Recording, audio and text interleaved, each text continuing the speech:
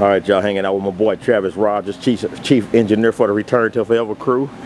He getting me the, the, the big hookup backstage, checking out Lenny White drums kit. For all y'all uh, wanna be drummers, this is how they do it. My goodness. Hey Travis, explain to us real quick if you can.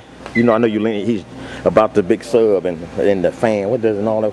Kind of give me a little. Well, the fan's just a typical Just a fan. just to keep him cool. The subs is give him a lot of low end um, on the kick drum. So now, being a uh, being a sound tech and like the drummer, is, that's not too loud on them. No, think? no, just the low end. You know, Lenny likes that in a butt thumper.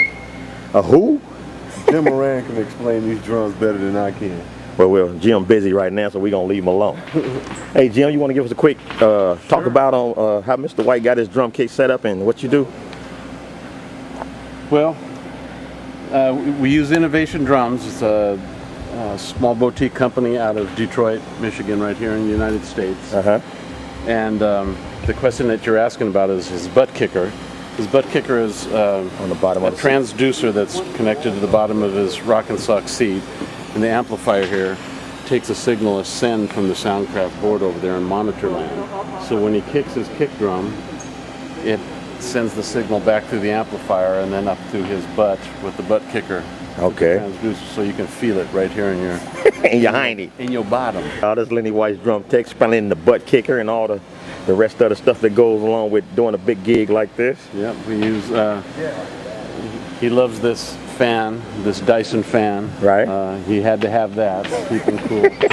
I think it's more to blow his uh, his little do rag than anything else. But uh, we use Istanbul Agop cymbals, and we use Remo heads and Vic Firth sticks.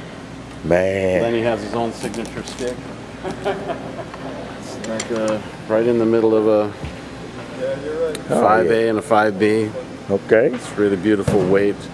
It's got its own uh, design to it. All right, Vic, you're gonna have to send me my residuals for this uh, free free uh, interview you're getting about your sticks now.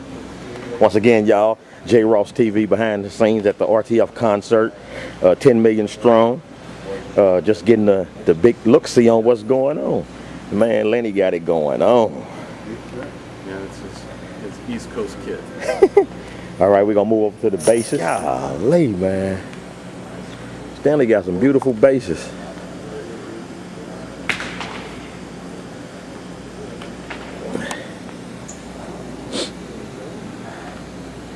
My goodness. All you all you aspiring musicians who want to be on the world class tour, my goodness. This is what this is how they do it.